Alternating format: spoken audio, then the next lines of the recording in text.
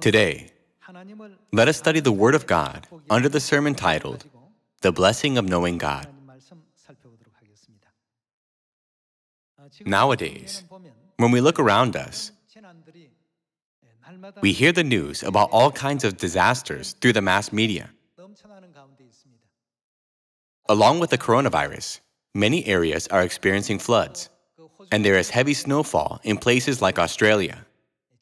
Due to the various disasters throughout the world, all business activities have been halted, and religious gatherings are limited. Everything seems to be restricted because of the current situation. I came to think the way to pile up blessings in heaven is to do my best while I still have a chance to do something. There are more natural disasters in this age than in any other times. There are cases where luxurious houses that people spent so much time to build were buried overnight by a landslide, and some were even swept away by heavy rainfall. Looking at people lose nearly all their possessions, I felt the pain of those who are suffering from these disasters. To save up for a house and enjoy a comfortable life after retirement, people cut back on how much they spend on food and clothing for many years. But in just one morning, their houses were destroyed by a natural disaster. Looking at this tragedy, I could not help but be reminded of God's words Do not boast about tomorrow. And what belongs to this world is temporary, but what is in heaven is eternal.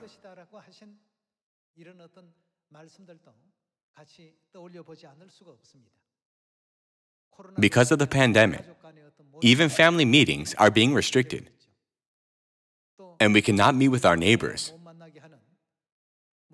Throughout the world, we are experiencing this situation.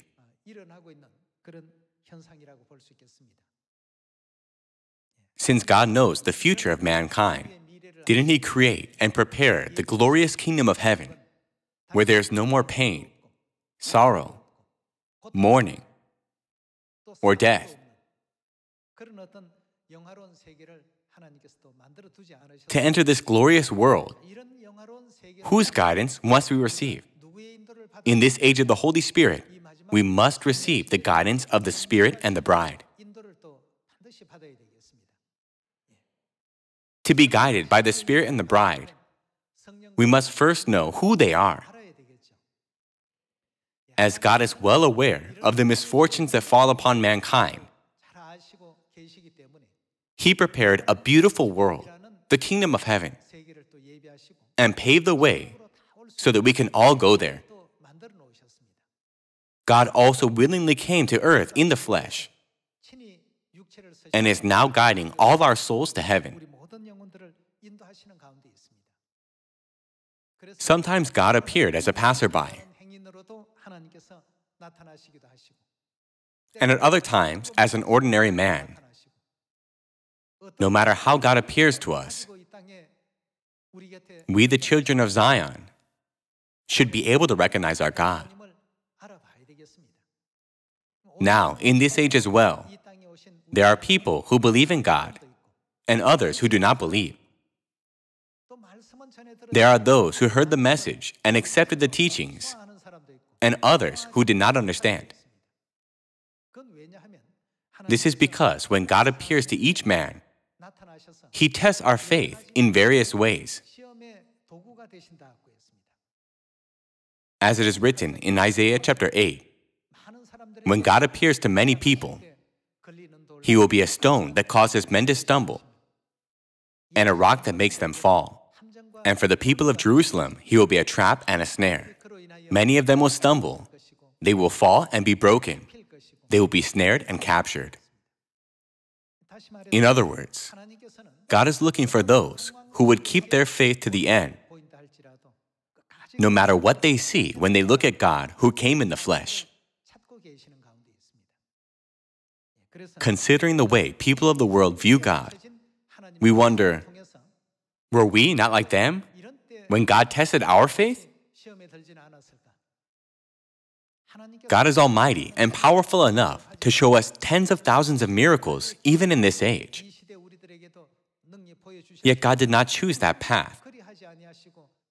Rather, God is now quietly guiding us in a humble appearance. While God is in the flesh, God is testing the faith of each individual. 3,500 years ago, the Israelites came out of Egypt and went toward the land of Canaan. When they were in the desert, what did God tell them in Deuteronomy chapter 8? God said that He put the Israelites in that situation in order to test whether or not they believed in God. Sometimes God humbled them leading them to a dry land. And sometimes, God brought them to a barren land without any food. At other times, God granted abundant food and allowed water to gush out from a rock. For a period of 40 years, God observed through various circumstances how his children behaved and dealt with their situations. The 40 year journey in the wilderness serves as a shadow of the reality which we are now walking, that is, the desert of faith. In fact, we are now living this kind of life, walking toward heaven. God wants to see how much we know Him and whether or not we would keep our faith, regardless of the circumstances. This is what the Bible teaches us. Abraham recognized and received God. Zacchaeus recognized and received God. The centurion recognized and received God. When Mary recognized God and took the alabaster jar of perfume and poured it on Christ's feet, he said that what she had done would be told wherever the gospel would be preached. How blessed were those who recognized God. Through them, God is giving precious lessons to all of us who are living in this age. Let us take a look at 1 Peter chapter 2. 1 Peter chapter 2 verse 6. For in scripture it says, See, I lay a stone in Zion, a chosen and precious cornerstone, and the one who trusts in him will never be put to shame. It is written, The one who trusts in him will never be put to shame. On the contrary, for those who do not believe, shame, contempt, and everlasting punishment is waiting for them. Verse 7 reads, Now to you who believe, this stone is, what is it to you? It is precious. To you who believe in God, who came in the flesh, he is precious. But to those who do not believe, the stone the builders rejected has become the capstone, and a stone that causes men to stumble, and a rock that makes them fall. They stumble because they disobey the message, which is also what they were destined for. There is a great difference between those who believe and those who do not believe. Those who believe are the ones who know God. How did Abraham serve God when God appeared to him? How did Zacchaeus treat God? As for the woman who had been subject to bleeding for 12 years, how did she treat God? How did the centurion treat God? How did Mary treat God? There are those who know God and those who do not know God. To those who believe in God, God is their treasure. However, to those who do not believe, God is a stumbling block, a rock that makes them fall a snare and a trap. Everything about God will become a rock that makes them fall. Let's go to Genesis chapter 18, verse 1. The Lord appeared to Abraham near the great trees of Mamre while he was sitting at the entrance to his tent in the heat of the day. Abraham looked up and saw three men standing nearby. God came in the flesh to visit Abraham's household. When he saw them, he hurried from the entrance of his tent to meet them and bowed low to the ground. He said, If I have found favor in your eyes, my Lord, do not pass your servant by. Let a little water be brought, and then you may all wash your feet and rest under this tree. Let me go get you something to eat, so you can be refreshed and then go on your way, now that you have come to your servant. Very well, they answered. Do as you say. So Abraham hurried into the tent to Sarah. Quick, he said, get three seahs of fine flour and knead it and bake some bread. Then he ran to the herd and selected a choice, tender calf and gave it to a servant who hurried to prepare it. He then brought some curds and milk and the calf that had been prepared and set these before them. While they ate, he stood near them under a tree. In this verse, how did Abraham treat God? Didn't he serve God and receive an extraordinary blessing from him? God blessed him, saying, Your descendants will be as numerous as the stars. He was granted Isaac to continue his bloodline and receive much grace and blessings. Abraham knew God and also served him with great reverence. We can confirm this through the Bible. When God came with a mighty appearance, there was no one who doubted who God was. Even in the case of the Israelites, when God spoke with authority, with thunder and lightning,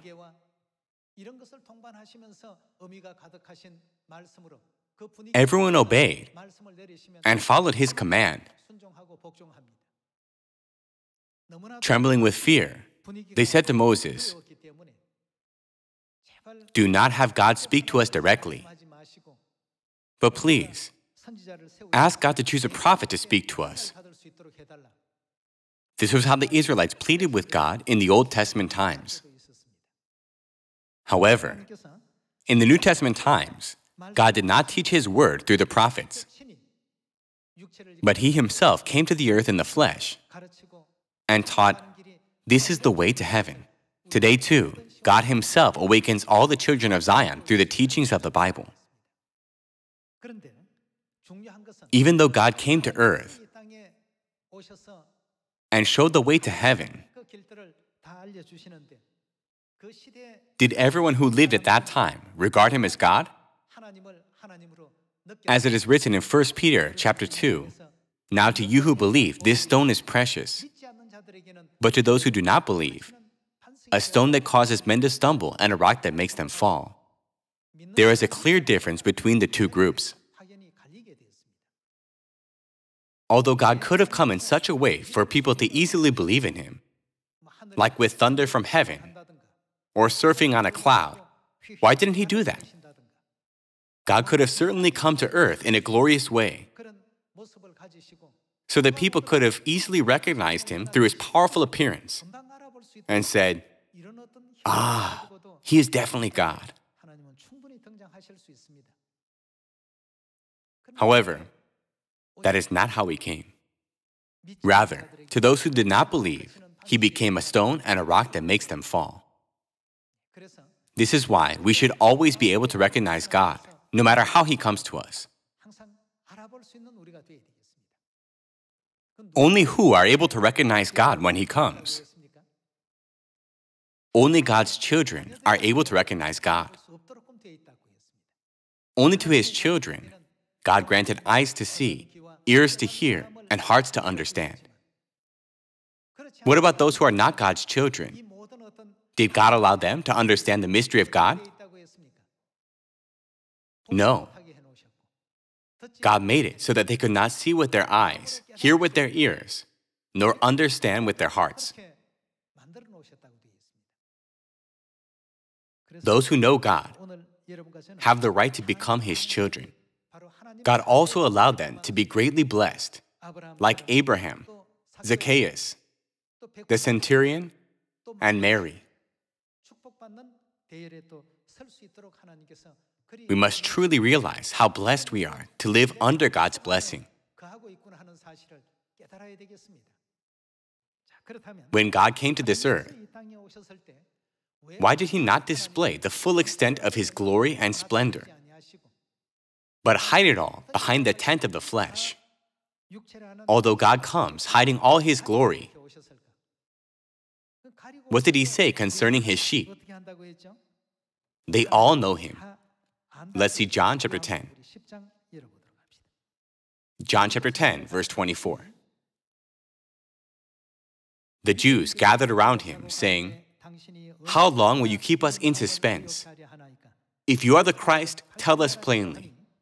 Jesus answered, I did tell you, but you do not believe. The miracles I do in my Father's name speak for me. But you do not believe because you are not my sheep. My sheep, what do they do? They listen to my voice. I know them and they follow me. I give them eternal life, and they shall never perish. No one can snatch them out of my hand. Because you are not my sheep, you do not believe, even though I came to show you the way to heaven. But my sheep listen to my voice. I know them and they follow me. Although God came to earth in human form, the saints of the early church, like apostles John and Peter, accepted, understood, and knew who Jesus Christ was. On the contrary, the Jews, the Pharisees, and the teachers of the law who lived in the same age did not accept Jesus as God. What was the difference between those who believed and those who did not believe? Let's go to John chapter 6. John chapter 6, verse 42. They said, Is this not Jesus, the son of Joseph, whose father and mother we know? How can he now say, I came down from heaven? What did Joseph do for a living? He was a carpenter. Jesus' physical father, Joseph, was a carpenter. They meant, Isn't he a carpenter's son? How can he now say, I came down from heaven? He is speaking nonsense. How can he say that? These were the factors that prevented people from believing in God. Now, in this age, we need to have faith to be able to receive God, even if He comes to earth as the son of a carpenter. Although all the prophecies in the 66 books of the Bible testified about Him, they did not believe. Jesus entered Jerusalem riding on a colt. He was born through a virgin and was born in Bethlehem. Numerous prophecies testify about Jesus Christ. However, they did not receive him, insisting, His father is a poor carpenter. How can a carpenter's son claim that he came down from heaven? This is how they rejected Jesus Christ 2,000 years ago. The same situation is repeating itself in this age. It is for these very same reasons that they are not able to know or receive God who came to the earth. Let's go to Matthew chapter 27, verse 50. And when Jesus had cried out again in a loud voice, he gave up his spirit. This is the scene of Jesus' death when he was crucified on the cross. He was God who came to earth to save mankind, but he was crucified. It is something difficult to understand. If people mocked and ridiculed them like this, well, wasn't your God crucified and put to death? How many of them will be able to hold on to their faith?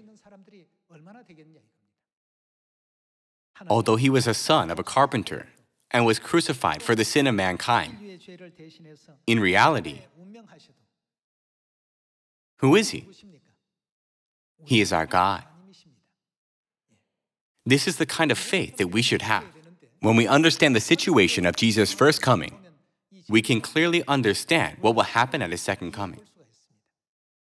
Jesus said, My sheep know me and will follow me. He also said that for those who do not believe, the Savior is a stone that causes them to stumble and a rock that makes them fall. As for the people who correctly recognize God, God blesses them, just like the 12 disciples. You will eat and drink at my table in the kingdom of heaven. You will rule over the 12 tribes of Israel. You will reign as the royal priesthood in heaven.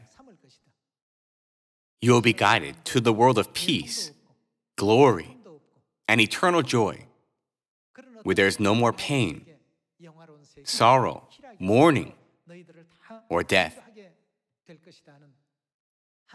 God did not grant these blessings to just anyone. Among 600,000 Israelites 20 years old or more who came out from Egypt, only two men safely entered the land of Canaan. Everyone else was ensnared by various circumstances on the way. Nowadays, when we look at God's physical appearance, some see the appearance of a carpenter, and others perceive him as God even though he did carpentry work. Although he was put to death on the cross by his own creation, some still viewed him as God, but others regarded him as a feeble man who could not overcome the powers of this world. However, we came to realize that Christ lived such a life to fulfill all the prophecies and make atonement for our sins. God came as the son of a carpenter. He was crucified, branded as a heretic, unacknowledged by people, and uneducated. His family did not believe in him, considering him to be out of his mind and try to take hold of him. Furthermore, people continuously persecuted those who actually did believe in him. Yet, despite all this, who was he? He was our God. Nevertheless, whenever people saw Jesus, they thought, if he is God, why is he persecuted so severely? If he is God, why doesn't his own family believe in him? If he is God, how can his own family think he is out of his mind? Wasn't he a powerless man who was simply crucified by the people of the world? Our God is Almighty, who created the heavens and the earth. And he is able to perform all kinds of wonders and miracles. However, when people looked at the work he was carrying out in the flesh, he looked so poor and shabby in their eyes. So they wondered, Is he truly God Almighty? These were the circumstances that covered people's eyes from recognizing God during the days of the early church. In the same exact way, slanderers are trying to hinder us in this age as well. It is written, To you who believe, God is precious. But to those who do not believe, a stone that causes men to stumble and a rock that makes them fall. Let's see another verse in Isaiah chapter 8, verse 13. The Lord Almighty is the one you are to regard as holy. He is the one you are to fear. He is the one you are to dread. And he will be a sanctuary. But for both houses of Israel, what will he be? He will be a stone that causes men to stumble and a rock that makes them fall. And for the people of Jerusalem, what will he be? He will be a trap and a snare. If God appears before us with magnificent glory, who would dare to speak against him? Would anyone crucify him on the cross or hurl insults at him, branding him as a heretic? Who would dare to spit on him or punch him? How can anyone dare to commit such a wicked act of trying to stone him? This is how much they did not believe in him. God hid everything that could reveal his true identity. In Isaiah chapter 8, what will Christ be? To those who do not believe, Christ will be a testing stone, a stone that causes people to stumble a trap, and a snare. Our gospel is led by our father and mother. Until now, some might have come to our church influenced by others, thinking, many people stream there, should I join them as well? But from now on, what will God separate from the wheat? He will separate the weeds from the wheat.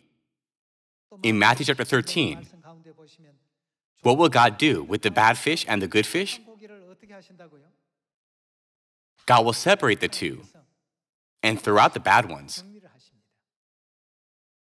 During this process, God will show people things that make it difficult for them to believe. Christ appeared to be weak and feeble when he was captured by the Roman soldiers.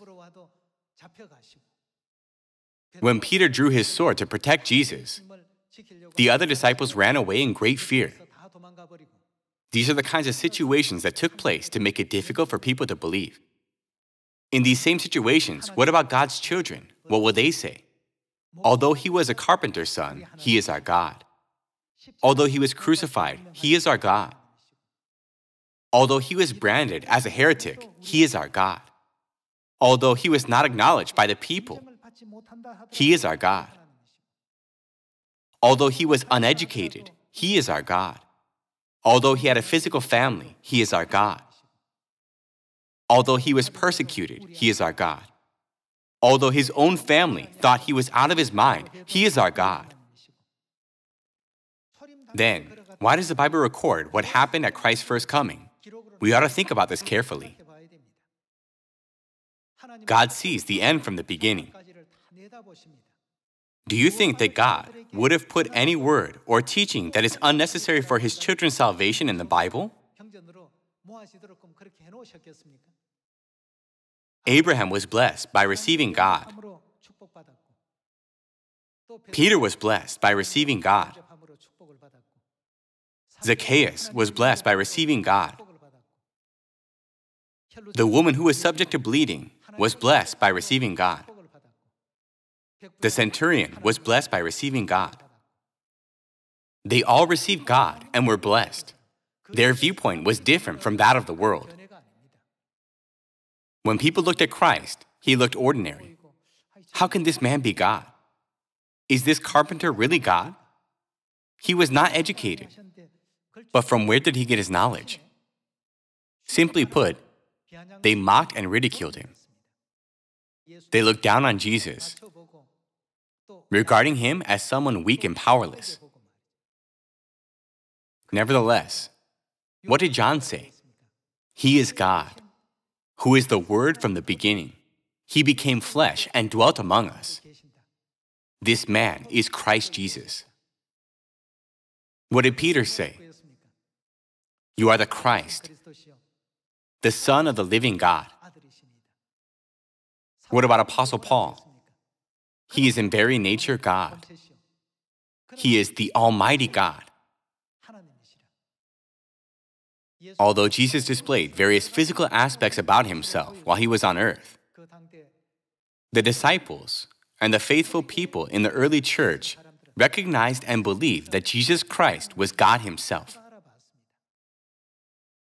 He was taken away helplessly and seemed powerless. Despite that, the saints of the early church said, Who being in very nature God, did not consider equality with God something to be grasped, but made himself nothing, taking the very nature of a servant, being made in human likeness. He became obedient to death, even death on a cross. Through the history of the early church, we can see the type of understanding and realizations they had about Christ. In this age, we, God's sheep, must understand God's voice correctly and receive the inheritance of the eternal kingdom of heaven that God has prepared for us. The more members come, and the more the gospel is preached to the nations, the more various situations may arise. No matter what, our father and mother have come to this earth Father is our eternal Father, and Mother is our eternal Mother. No matter how much the people of the world slander us, it does not change the fact that our Heavenly Father and Mother are the ones who gave birth to our souls and are raising us now. Let's go to Matthew chapter 11, verse 2. When John heard in prison what Christ was doing, he sent his disciples to ask him, Are you the one who was to come? Or should we expect someone else? Jesus replied, Go back and report to John what you hear and see. The blind receive sight, the lame walk, those who have leprosy are cured, the deaf hear, the dead are raised, and the good news is preached to the poor. Blessed is the man who does not fall away on account of me. no matter how I look or what kind of surroundings I appear in.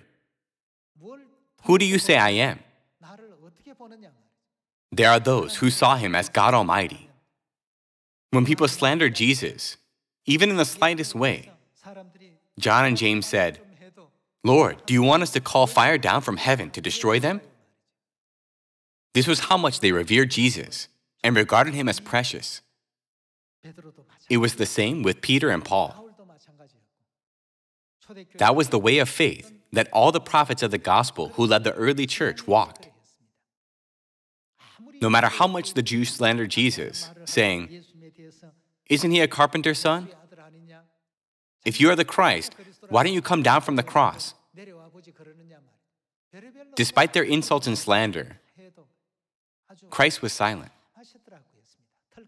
It is written that he did not open his mouth, as a sheep before her shears is silent. Was it because he had no power or authority?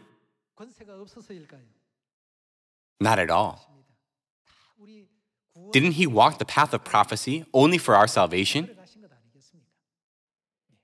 It was all because of our sins and iniquities. As God came to earth in the flesh to carry our sins, we should correctly know and receive God while God is still with us on earth. We should regard God as precious while God is near us. While we still have time to serve God who dwells with us, let us revere our God. Like Zacchaeus, Mary, Peter, John, and James, hoping that all of us will bring more glory and honor to our God. I would like to conclude today's sermon. Thank you very much.